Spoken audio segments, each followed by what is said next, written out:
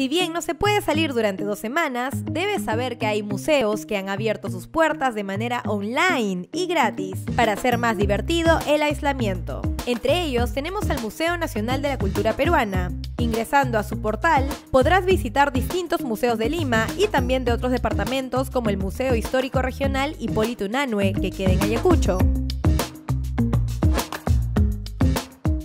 También en Huancavelica tenemos al Museo Regional Daniel Hernández Morillo y muchos más donde podrás aprender sobre la cultura de este país con tan solo un clic.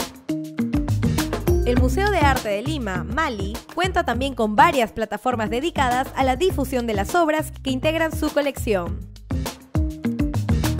Yéndonos a un contexto internacional, tenemos a Pinocoteca di Brera Milano. Este museo está abierto desde 1809 y entre sus obras encontrarás algunas de Leonardo da Vinci, Piero della Francesca y Rubens. La Galería degli Uffizi ha abierto sus puertas de manera online. Esta es una de las pinacotecas más frecuentadas de Italia y también es la más conocida. Queda en Florencia y ahora podrás hacer un tour gratis de manera virtual para ver las obras que guarda como los trabajos de Botticelli y Miguel Ángel.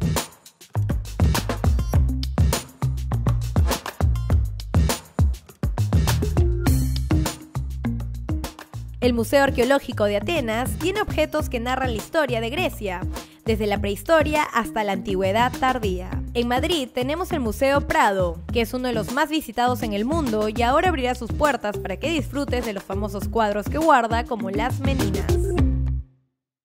Uno de los museos más visitados del mundo que debió cerrar por el nuevo coronavirus es el Louvre París. Aquí se encuentran piezas de todo el mundo, entre ellas la enigmática Mona Lisa, pintura famosa de Leonardo da Vinci. Cabe resaltar que estos son solo algunos de los lugares que podrás visitar mientras dure el aislamiento social.